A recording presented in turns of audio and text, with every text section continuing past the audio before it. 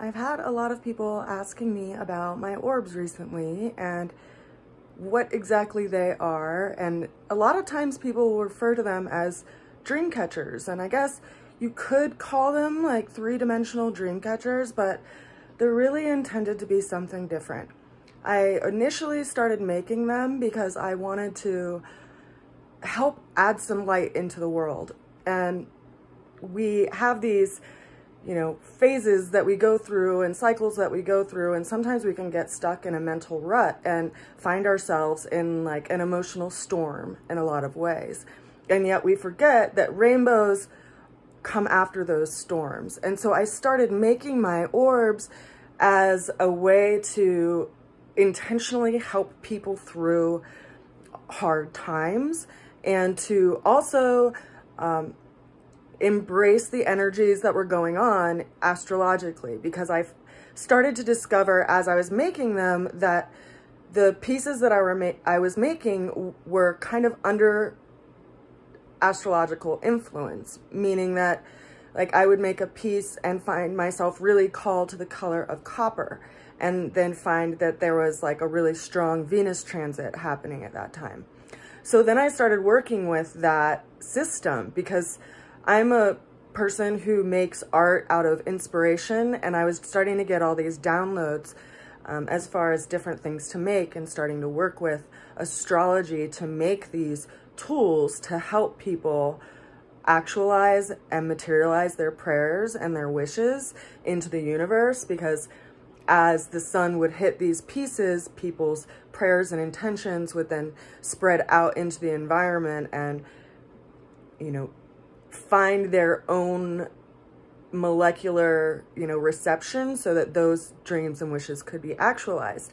And I've actually seen some amazing things happen in people's lives who have purchased these pieces and, you know, like anything, I mean, you could make a lot of different things into tools for this purpose. And yet I find that there's just something really magical when you walk into a room that is spraying rainbows throughout it and it re-engages and recalibrates your attention to refocus on what you are wanting to put your energy and your wishes toward.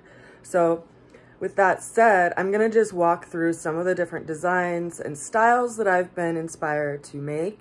And um, if you feel called to have any of these particular pieces, a lot of them are still available. Or if you feel called to have a piece of your own, reach out and I can make one custom for you. I also do uh, list new ones that I'm inspired to make online through different outlets. So I'll leave all that information below.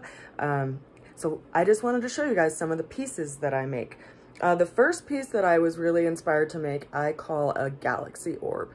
So you can see why there's this energy of, you know, actualizing and sending out energy. People, a lot of people have told me they almost look like atoms, you know, um, from this style, and this one is actually, um, it's made with shungite, and then it's made with this faceted glass beads as well as essential crystal. So it sprays a lot of rainbows around. And this piece is four by four inches. It'll actually be light enough to hang from like a rear view mirror of a car. Um, and then this second piece I'm showing is the rainbow lantern. So it's a little bit different of a style. This one has hematite in it. And these styles I make larger than the four inches. I'm just showing you the four inch style as, uh, you know, design to reveal, to show you. I also make these um, kind of rainbow orbs. I make these in both black and in white as the, as the ring. And these I make in a variety of sizes, all the way up to 14 inches. And then, uh, you know, I'm going to show you a couple of the other lanterns that I've made. Um, this one actually has uh, lava stone in it, so it can double as a diffuser for essential oils. And then, as I said, I make a lot of my piece, pieces as like intentional prayers. So this one is actually called the Heart of the Phoenix. It's also a rainbow lantern, but I made this recently after Boulder, Colorado went through that big fire as a prayer of like rising up after literally the ashes from the rising phoenix. Um, and then I also make these, another prayer piece that I started to make a couple years ago is the rain dancer style. And this I made because the area that I live in, it was going through a drought. And so I made this and it looked like raindrops. So um, I call it the rain dancer. And then I also have um, a starburst style, which is similar, but it doesn't have quite the same number of beads. Um, this is actually a, a rain dancer or starburst style without the central crystal. And then some of the pieces that I was really inspired by, mostly by the moon phases, uh, for instance, are my new moon dream catchers for new beginnings. These are intentional pieces to help people put energies towards new things that they're growing in their life.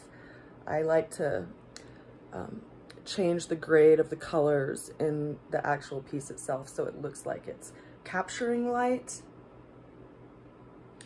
And then I also made a version of that piece which is called um, Living Dreams, a Living Dream Catcher. This one has an air plant in it and it this specific piece has smoky quartz as the stones. And then I do incorporate stones into the uh, New Beginnings pieces as well as the glass beads. But this is a larger New Beginnings piece from a new moon. And this one actually has stones. Um, this one is actually faceted glass beads, but I make them with stones as well.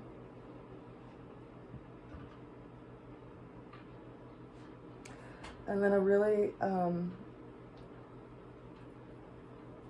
cool piece that people are into as well is my full moon rising piece. And so it looks like a full moon is rising over a body of water. And I also will make this piece with a three-dimensional orb in the center as well. And I've made them with custom stones and birthstones for my friends who are mamas, and that's been sweet.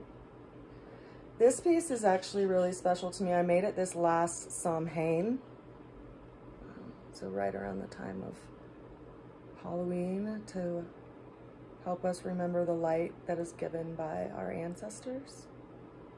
And this one also has hematite in it.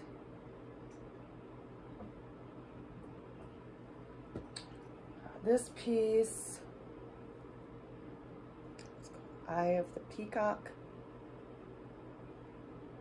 with this tear teardrop kind of or water droplet shape pattern inside of it. And you can see I also changed the colors of threads in this piece as well. I found that some people really like to hang my pieces in places where they don't get any light. So not all pieces um, have like stones or beads in them that actually capture light. Like for instance, if someone was to hang this in a dark spot, you can see that they would still see it because of the backdrop of my black sweater here. Um, but it doesn't spray rainbows, whereas the other pieces do spray rainbows around, but only if they're able to be hit by the sun. Um, and then this is a piece that I really am in love with that I just made. I do make it in smaller versions as well. Um, but this is my portal piece. I made this on uh, the February 22nd, 2022 portal. Um, and I actually made it specifically at a certain megahertz of music so that it's really intended to be a prayer piece for the coming age of Aquarius that we are going to be uh, stepping into and this central piece spins separately than it. But I do make this piece as well. This one is 19 inches. You can see it's pretty large, um, but I do make it in a smaller size as well. And then my favorite um, is actually probably my natal chart orbs, which uh, people ask me, what inspired you to make those? Like, those are so cool. And a couple of years ago, when we actually were going into this, like, big shift we all are experiencing right now in 2022 that started in 2020.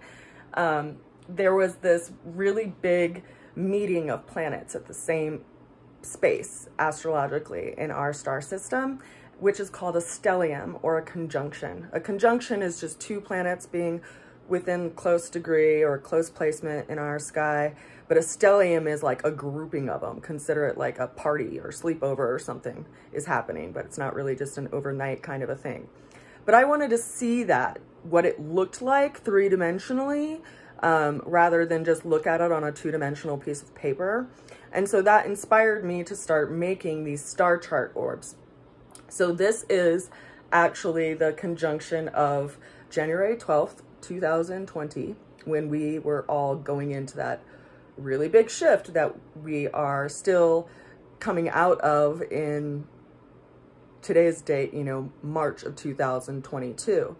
So this is what inspired me to make my natal chart orbs.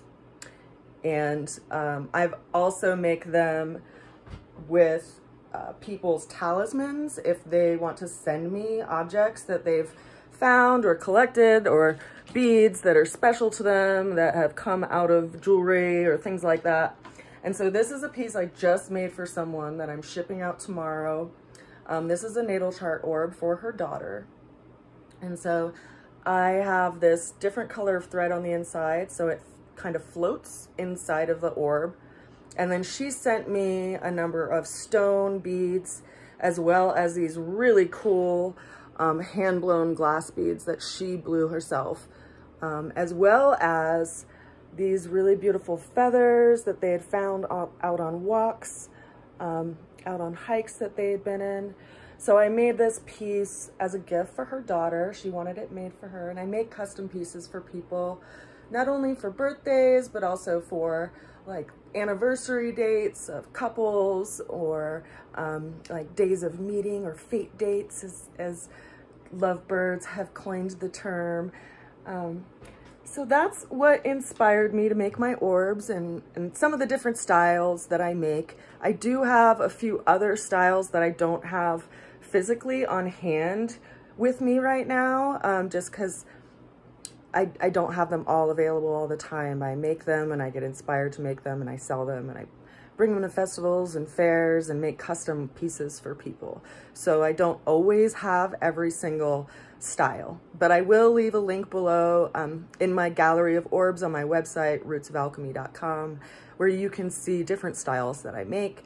And then I will often post, you know, new creations that I make on my Instagram account, Roots of Alchemy, and on my Facebook account, Roots of Alchemy as well.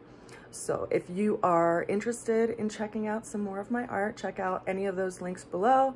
And if you feel called to get a piece for yourself or a loved one or for a special anniversary or something, just reach out and we will make you a beautiful creation to bring some more rainbows and light into your life. I send you a good wish, and if you have any questions, just let me know.